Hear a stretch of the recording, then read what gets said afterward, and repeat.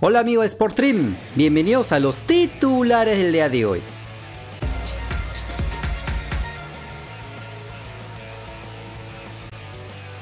Y vamos a revisar los partidos amistosos de los peruanos en el extranjero.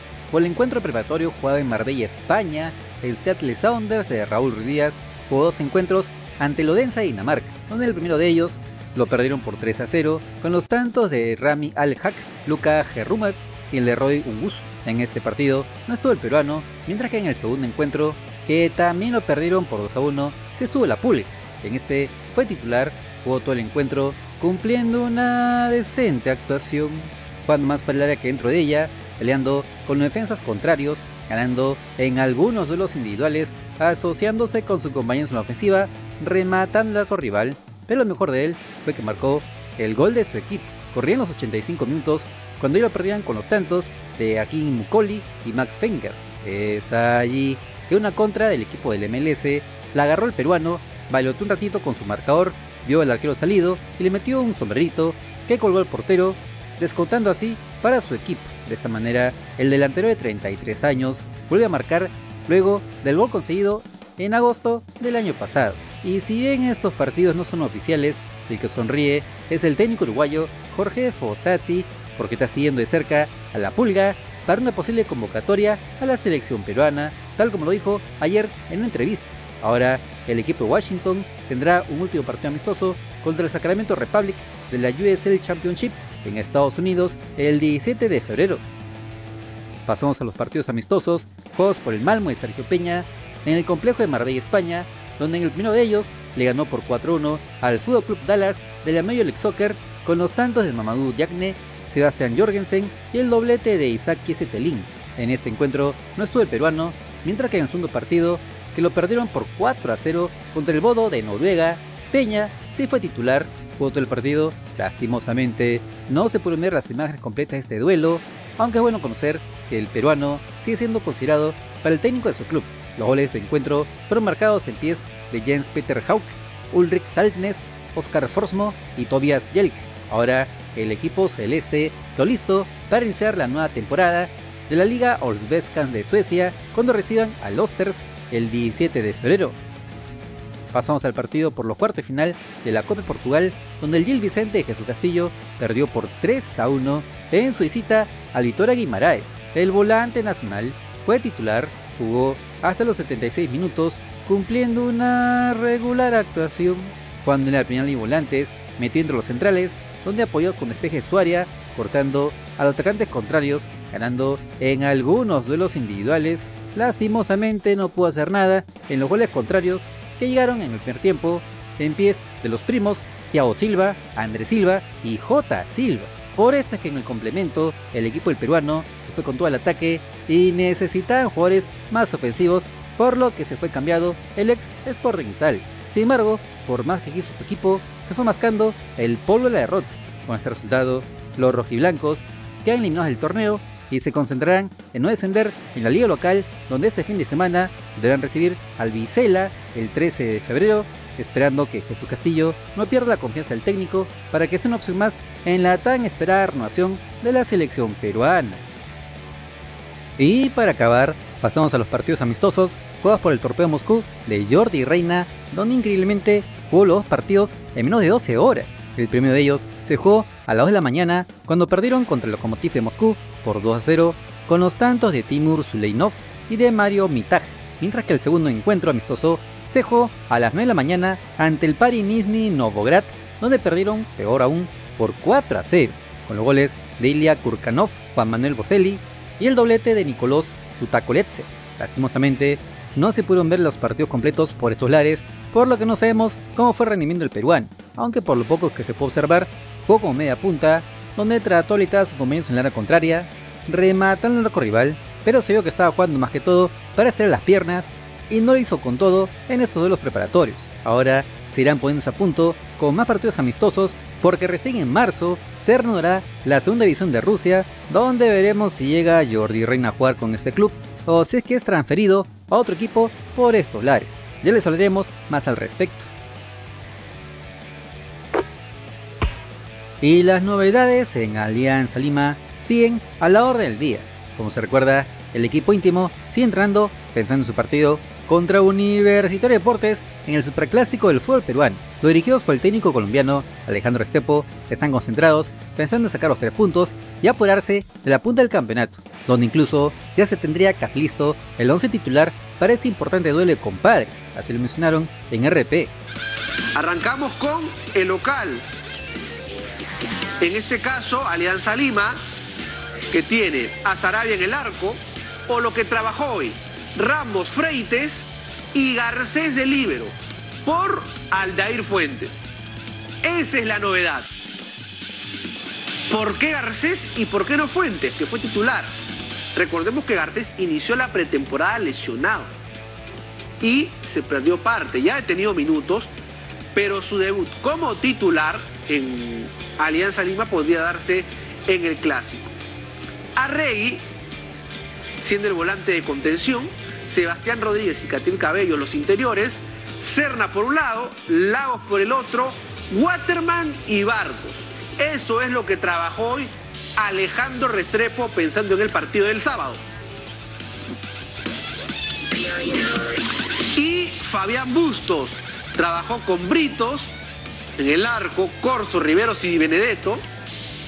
Andy Polo por derecha, que mm, no fue nada de gravedad. Eh, lo del otro día, que trabajó diferenciado y va a arrancar el clásico. Portocarrero, esa es la novedad. Porto Carrero de carrilero por izquierda, ni Cabanillas tampoco Bolívar. Porto Carrero de carrilero por izquierda, Murrugarra, Concha y Christopher González en el medio, Edinson Flores y Dorregaray arriba en el ataque. Tras lo escuchado, queda claro que en Alianza Lima vienen un peldaño más arriba en cuanto al favoritismo, aunque no sería todo feliz en la victoria, ya que el dolor de cabeza que les está dando la lesión de Pablo Sabaj no tiene cuándo acabar. Como se sabe, el colombiano vino lesionado de su participación de la Copa de Asia con su selección Siri. Es así que ante la falta de un más de área, estarían sondeando el mercado de pases. Así lo explicaron el precio deportivo Kevin Pacheco y la cuenta anónima Ojo y Bala. A ver, regresó con una dolencia a Alianza Lima tras su participación en la Copa Asiática con la selección de Siria. El atacante presenta una lesión en el tobillo izquierdo y no estará contra Universitario de Deportes. Ante eso, RPP pudo conocer que la baja del delantero de Alianza Lima es de cuidado y que estaría fuera de los terrenos de juego por eh, más de un mes. Lesión que podría implicar varios meses, sin todavía tener el reporte oficial. La situación lleva a que Alianza Lima empiece a contemplar nombres de refuerzos nacionales ante esta situación.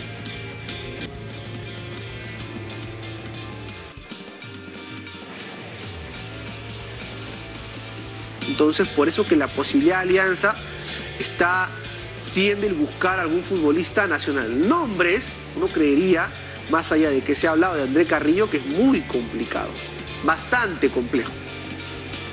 Están las opciones de Jordi Reina, de la Casa, de Alianza Lima, y por ahí lo de Santiago Ormeño. Claramente, cualquiera de las llegadas es compleja. Alianza Lima contactó con los empresarios de Jordi Reina para ver una posible sesión por el año, y de parte del jugador están analizando la opción. Hay muy buena relación, pero se tienen que concretar algunos factores importantes en ambos lados, antes de tomar la decisión final. Esta no es la gran novedad, ya que desde el año pasado se venía voceando que la magia reina podría llegar a la victoria.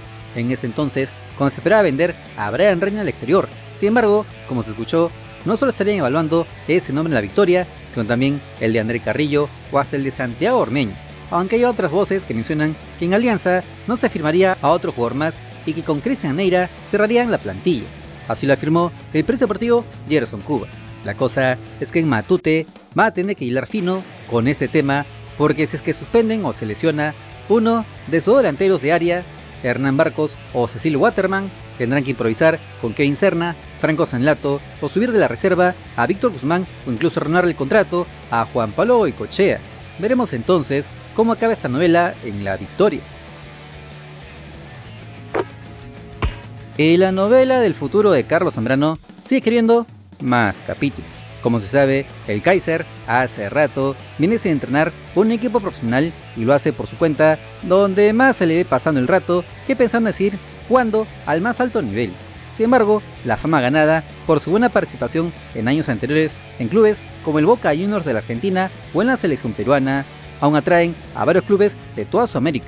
Ya les informamos que tendrá ofertas desde la Argentina e incluso del Liverpool de Uruguay. Sin embargo, el central de 34 años ha dicho en más de una ocasión que no desea salir del país porque quiere disfrutar de la Dolce Vita junto a su familia, por lo que dejar el Perú no será algo que le interese demasiado a la un jugador de Alianza Lima. En esa línea, el Defensa Nacional dejó entrever dónde podría jugar en este 2024, así lo mencionó en el 1 Max. Hay una, una pequeña comunicación. A su madre, qué rico. Ah, mira, sinceramente el boy, como por ser del Callao, siempre me ha llamado la atención los colores también, ¿no? Yo te voy a decir una cosa, pasa, yo pasa tranquilo, ando siempre con él. Para entrenando, para en su casa, con su familia, y ahí yo estoy acá, ¿no? Como escuchando todo lo que hablo. Y cuando vi que una apuesta, una marca de apuestas muy conocida acá, ha firmado el auspicio con Boys, hablé, "Mm, ahora va a jalar. ¿Qué jugador caro? Sabemos, y, y se lo merece lo que, que vale, ¿no? Yo tengo otra información. Ay, la bien. Plomo, déjalo, pero si tengo, ¿qué te voy a decir? Mira, Déjalo en el boy, pues. oiga, a mí yo... La gente sabe que yo soy de Alianza. Siempre he dicho que le tengo cariño al Boys. A mí me gustan los equipos de pueblo, de puerto, de, de barrio. Pero hay otro equipo de Rosado que me han llamado hoy día a decirme que están buscando un back central. Un equipo que es muy famoso en el mundo hoy que juega de Rosado. Contra esa- Sí, hoy estoy hablando con unos periodistas de la MLS y me llamaron a preguntarme si había algo porque me dicen, oye, me he enterado que el Inter está buscando back centrales y tú sabes algo de Zambrano y le digo, no hermano, yo trabajo con él pero no sé nada, ¿no? Y si supiera no te contaría, pero ojo con eso, ¿ah? Como se recuerda, Zambrano es nacido en el Callao, de hecho, fue formado en la Academia Cantolao y ya había mencionado antes que querría retirarse en el Delfín, pero ya que este club está en segunda división, la opción de primera que le quedaría sería el Sport Boys del Callao, donde están acostumbrados a tener a futbolistas, digamos, no tan apegados al tema disciplinario. Todos hemos oído del sinfín de parrandas y fiestas nocturnas en las que se ven involucrados sus futbolistas, por lo que este sería el equipo que le encajaría en lo que busca Zambrano para mantenerse en actividad profesional y quién sabe si ser parte de la selección peruana. Aunque Fossati ya dijo que no le va a rogar a nadie y si no se pone en forma estará fuera de su consideración. Veremos entonces cómo acaba esta mi novela de nuestro Lompié. Hablando de la selección, el técnico uruguayo Jorge Fossati sigue dando entrevistas en todos los medios deportivos que se lo piden. Esta vez estoy en Red Exitosa, donde nuevamente habló de su primera convocatoria a la bicolor de cara a los partidos amistosos de la fecha FIFA de marzo. Además habló de lo que pretende hacer con la blanquirroja en este año y sobre todo confirmó si llamará o no al danés peruano Oliver Son. Con respecto a Sone, ya este, lo he aclarado, pero no importa, te lo aclaro a vos también. Dije que por supuesto lo conocía, lo estamos siguiendo como seguimos a todos, a todos. En este momento, para el que no sabe, todavía no empezó la liga del país donde él está. Eh, y de donde él es nativo. Todavía no empezó la liga, pero igual lo hemos visto porque han jugado partidos amistosos.